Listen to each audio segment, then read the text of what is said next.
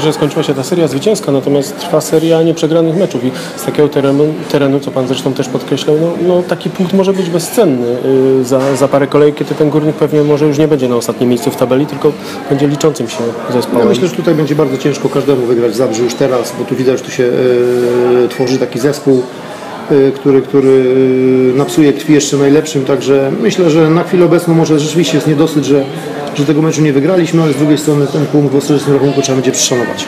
Na pewno Górnik u siebie będzie groźną drużyną, zdaniem trenera Orzyńskiego.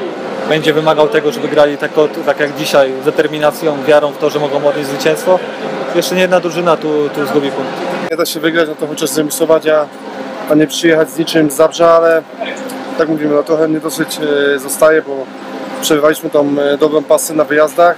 Niedosyt na pewno lekki pozostał, tym bardziej, że, że tracimy bramkę po stałym fragmencie gry, a to zawsze taki jest troszeczkę większy ból, bo inaczej jeżeli bramkę stracimy po jakiejś fajnej, składnej akcji, bo wtedy ręce same składają się do oklasku dla drużyny przeciwnej, ale, ale w taki sposób to na pewno gdzieś zostaje w pamięci. No, szkoda, dwie, dwie, drużyny, dwie drużyny przede wszystkim dzisiaj zostawiły sporo zdrowia na boisku. Ten, ten mecz kosztował wiele, myślę, że zawodników Górnika tak samo jak nas, ale z szacunkiem też do tego po- podchodzimy.